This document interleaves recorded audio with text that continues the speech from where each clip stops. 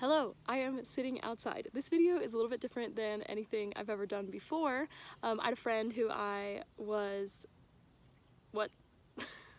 I became friends with a guy named Stuart, you'll see him later, in Alabama. I wasn't vlogging when I was in Alabama, but I was vlogging before that. After I left, he stumbled upon all my vlogs and was very upset that he didn't have the opportunity to be in any of them because I wasn't vlogging when I was there. So I said I would make a whole video just for him, just to make it up to him. So I came up with this really dumb idea. I thought it was a dumb idea. It turned out to be good, I think. We'll see.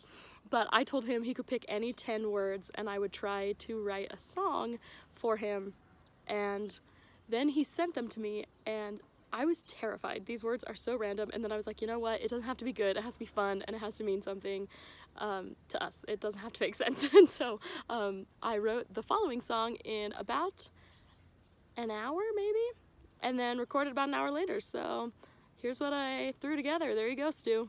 What can I say? Here you go. What's up, guys? My name is Stuart. I met Kennedy doing a show. She's pretty awesome.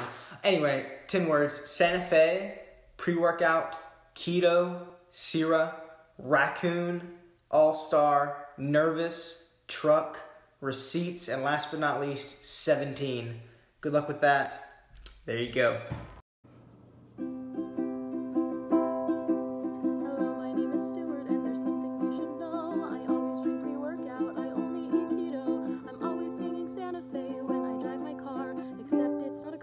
Truck and it's really important to me and I bring it up in conversation all the time. I drive a truck. I'm really good at catchphrase, you want me on your team, cause somehow all-star means an ogre, that is green, that makes sense, right?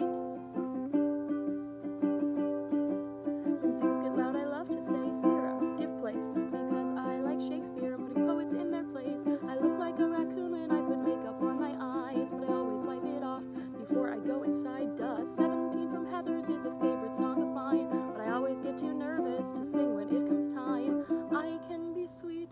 Write notes on receipts that say things like, I hope you feel better. LOL, you suck. We kid because we love. I have lots of friends who love me. Kennedy, Carl, Eunice, Aaron, Becca, Lizzie, just to name a few. This song is just another of the silly things we do. Although these words are crazy, all of them are true. Maybe you learned something you never knew Now it's time for this nonsense to come to an end. This has been the song of Stuart Walker Henderson.